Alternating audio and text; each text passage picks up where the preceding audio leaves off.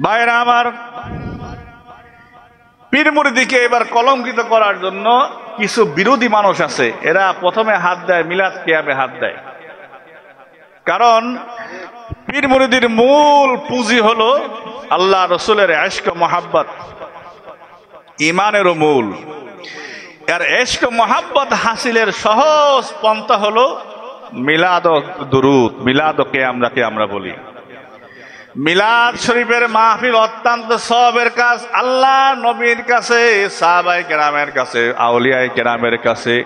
এটা অত্যন্ত পছন্দনীয় একটি আমল। যে আমলের কারণে, শোনো বাবা, শোনো, খারাপ দিকে বুঝবেন না, উল্টা বুঝবেন না। উল্টা বুঝেন না, নামাজ আমি আপনি পড়ে এসেছি এশারে নামাজ পড়ি নাই আমরা। কিন্তু নামাজ পড়লে নামাজ সঙ্গে সঙ্গে কবুল হয়েছে। এই মর্মে কোনো হাদিসও নাই, কোরআনও নাই। খবরদার বলবেন না যে নামাজ বিরোধিতা না। নামাজ পড়াই লাগবে, ফরজ। কিন্তু সত্য একটা কথা শোনেন। নামাজ পড়বেন, নামাজ পড়লে যে আপনার নামাজ কবুল হয়েছে, আল্লাহ নবী সব দেখেছেন। আল্লাহ নবী কবুলের জন্য সুপারিশ করেছেন। এই মর্মে কোনো হাদিসও পান নাই, কোনো আয়াতও পান নাই। ঠিক কিনা? কিন্তু আপনি যদি একবার দরশ্বরী পড়েন, আল্লাহ নবী গ্যারান্টি দিয়ে গেছেন, সঙ্গে সঙ্গে আল্লাহ নবী শুনতে পায় এবং শোনার সঙ্গে সঙ্গে জবাব দিয়ে দেয়।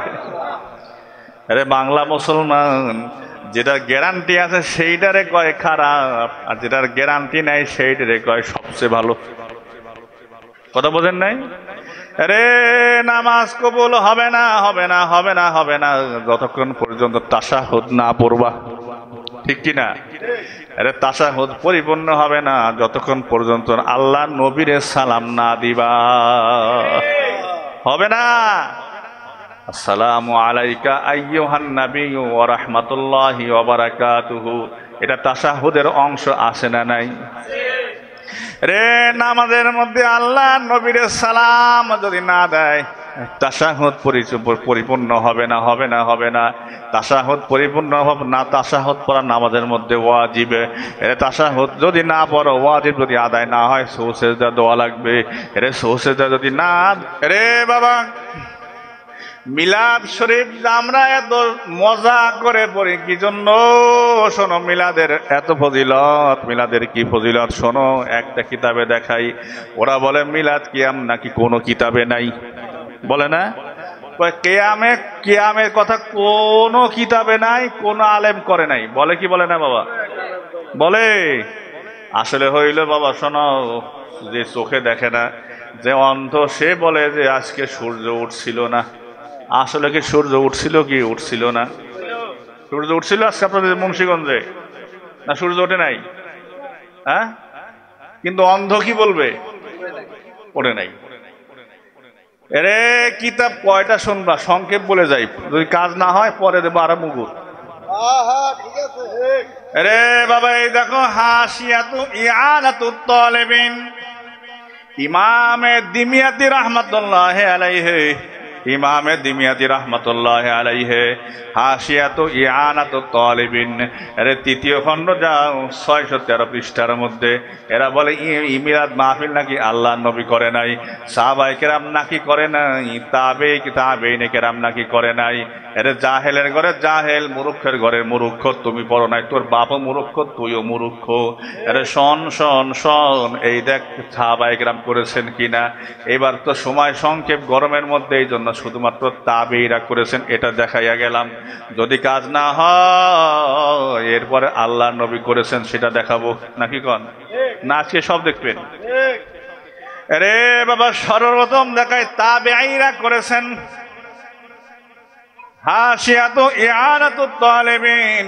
হাসিয়াতু তৃতীয় খণ্ড 613 পৃষ্ঠা সাইয়্যিদু তাবেঈ, তাবেঈদের নেতা, তাবেঈদের সরদার, শুধু তাবেঈ নয়, যিনি বাল্যকাল থেকে আহলে বায়াতের ঘরে লালিত পালিত এবং তাবেঈ যিনি হযরতে হাসান আল বাসরি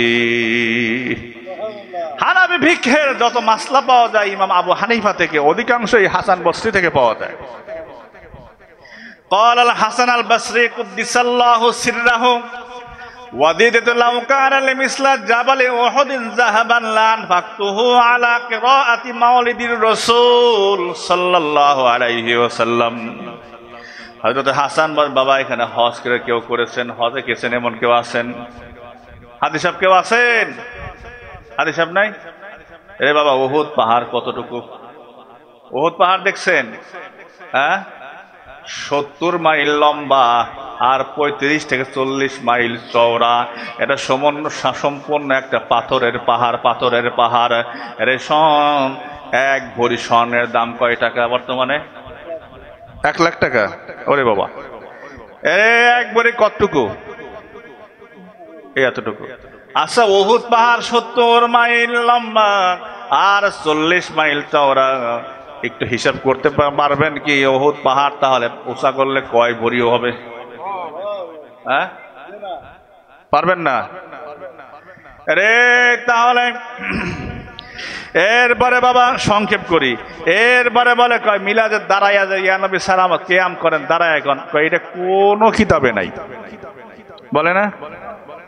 হ্যাঁ? কয়, কোনো কিতাবে নাই। আরে বাবা, কিতাব কোনো কয়টায় দেখাও? হাস, এই কিতাবের তিনশো এগারো পৃষ্ঠার মধ্যে বলে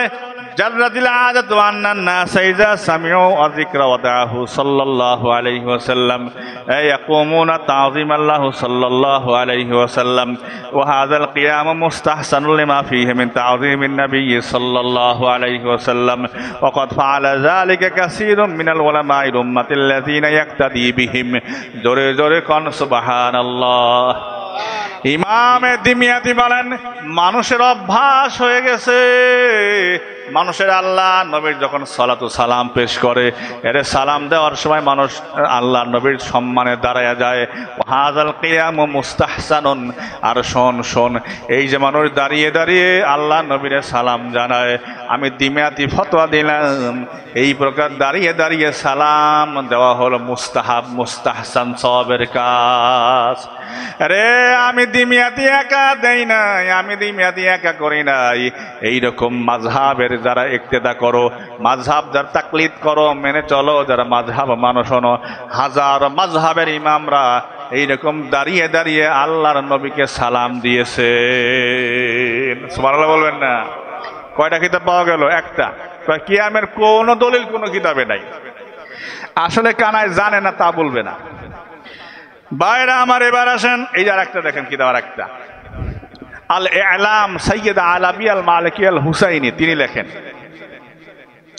واستحسن ذلك من استحسنه من أهل العلمي وقد أشار إلى ذلك البرزنسي والمؤلف أحد المول موالد البنووية بنفسه إذا قال بالنص وقد استحسن القيام عند ذكر مولده الشريف أئمة ذوي رعاية ورواية فطوبى لمن كان تعظيمه صلى الله عليه وسلم غاية مرامه ومرماه جري جري كن سبحان الله সৈয়দ আলাবি আল মালাই মা মালিক আল হুসাইন রহমতুল্লাহ আলাইহে তিনি বলেন শোন শোন আহলুল এলেম যাদের এলেম আছে, যাদের এলেম আছে, যাদের এলেম আছে, তাদের সবাই একমত।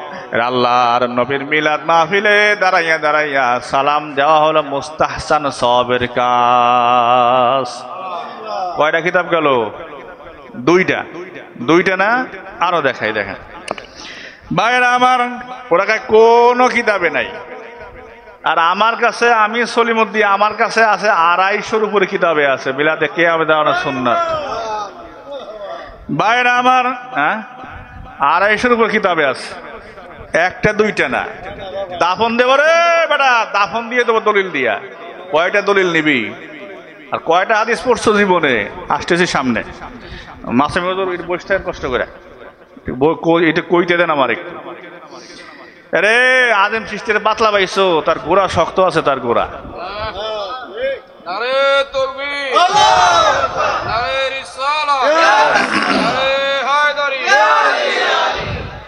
বাইরা আমার আল আজবিবা আল আজবিবাতুল মাক্কিয়া আনিল আসইলাতুল জাওবিয়া কিতাবের মধ্যে যাও।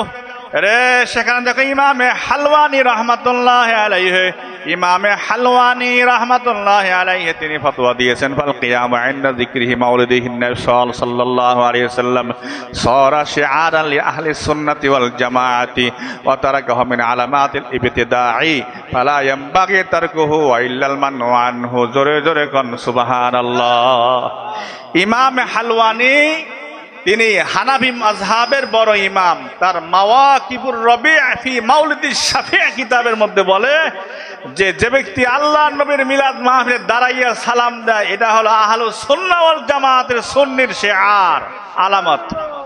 যে দাঁড়াইয়া নবীকে সালাম দেয়, ওটা হলো আহল সুন্নি আহল সুন্নাহ ওয়াল জামাতের অনুসারী। আর যে আল্লাহ নবীকে দাঁড়াইয়া সালাম দেন, ওটা হলো বেদাতি।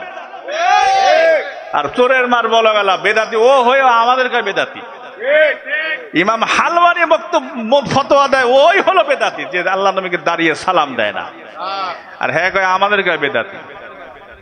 বাইরা আমার, এরপরে যান, যার ফতোয়ার কিতাব সারা হানাফি মাঝহাব অচল হয়ে যায়, হানাফি মাঝহাব চলতে পারে না। ইমাম ইবনু আবেদিন স্বামী রহমতুল্লাহ আলাইহে। ইমাম ইবনে আবেদিন স্বামী তার একটা কিতাব লিখছেন এই মিলাদ মাহফিলের উপরে। কিতাবের নাম দিয়েছেন নাসরুদ্দুরার আলা সারহে মাউলুদ ইবনে হাজার।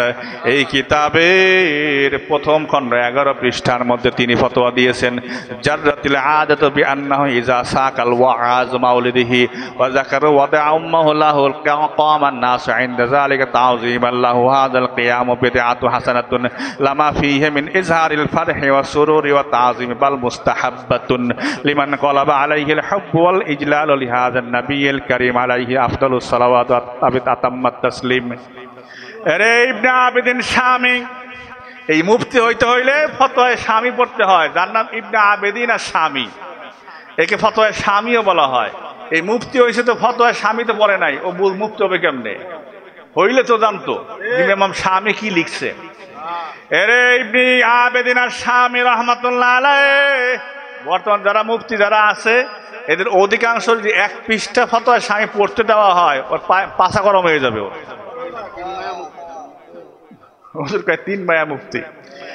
এই মুফতি লেখো নামে শোতে ভয় করে না, এত সহজ না। জানো, মতন কয় প্রকার? হ্যাঁ? কিতাব পড়তে যাও, মতন কয় প্রকার জানো? তুমি কি মৌলবী হইছো? আগে কি করব? সামনে তো আর নাই, তাহলে একটু খেলাম যাইতে একটু। মতন কয় প্রকার জানো? মতন কয় প্রকার মতন হয়? আর হাসি আকারে কয়, সরাহ আকারে কয় জানো? ভাইরা আমার ইবনা আবেদিন আর স্বামী ইবনা আবেদিন আর স্বামী এর একটা মাসলা মনে পড়ছে, বলব হুজুর? ওনারা একদিন প্রশ্ন করে, হুজুর ছেলে পেলে আছে নাকি এখানে? ও, ওরা ওরা ওয়াস্তু আছে হ্যাঁ হুজুর? হ্যাঁ আল্লাহর এক বান্দা। বলে হ্যাঁ থাকে একেবারে মাগরিবে পৃথিবীর পশ্চিমে। হ্যাঁ আর তার স্ত্রী থাকে একেবারে মাসরিকে পৃথিবীর পূর্ব দিগন্তে। কয় হ্যাঁ কয়, থাকে দুইজন দুই প্রান্তে, কিন্তু হয়ে গেল একজন স্ত্রী গর্ভবতী। এখন এই সন্তান হালাল জাদা না হারাম জাদা ইবনে আবেদিনা সাহামি কয়, এটা ওরা হালাল জাদা কয়, কেমনে? কয় কেমনে শুনবা? করো, শোনো। আল্লাহ, যদি স্বামী যদি আল্লাহর অলি হয় আরে আল্লাহর অলিরা সায়ের করতে পারে, বাতাসের সঙ্গে মিশে চলতে পারে। আরে পৃথিবীর পশ্চিম প্রান্ত থেকে পূর্ব প্রান্ত আসতে তার সেকেন্ড মুহূর্ত সময় লাগে না। সে সে স্ত্রীর সহবাস করে সে চলে যেতে পারে। এই জন্য যেহেতু কাইফিয়াতটা মাঝে হল অবস্থাটা জানা যায় না মাঝে হল এই স্বামীটা আল্লাহর অলি কি অলি না, সায়ের করতে পারে কি পারে না এই জন্য ফতোয়া দিতে হবে রে। ওই সন্তানরা সম্পন্ন হালাল জাদা।